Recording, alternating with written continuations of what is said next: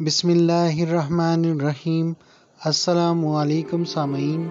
इस वीडियो में हम देखेंगे कि जायदा नाम का मतलब और इसकी मज़ीद तफसीत क्या है। इस नाम की इब्तदाई तारीख अरबी ज़ुबान से निकलती है। जिन्स है लड़की, यानी इस नाम का शुमार लड़कियों के नामों में किया जाता है।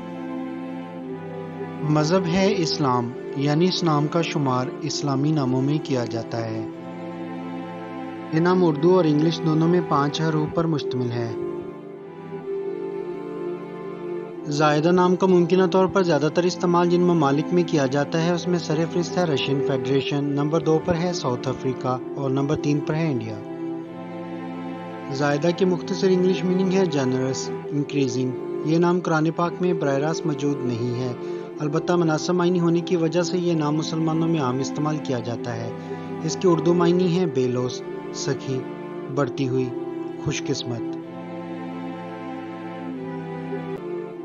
उम्मीद करते हैं कि आपको ये वीडियो पसंद आई होगी। आपसे दरख्वास्त है कि अपने बच्चों के लिए कोई भी नाम फाइनल करने से पहले अपने इमाम मस्जिद या किसी आलम से मशवरा ज़रूर करें। इसके साथ साथ आपसे दरख्वास्त है कि अगर अभी तक आपने हमारा चैनल सब्सक्राइब नहीं किया तो इसे सब्सक्राइब कर लें। और वीडियो को लाइक और शेयर ज़रूर करें। मिलते हैं नेक्स्ट वीडियो में। तब तक के लिए इजाज़त दीजिए। शुक्रिया। अल्लाह हाफिज़।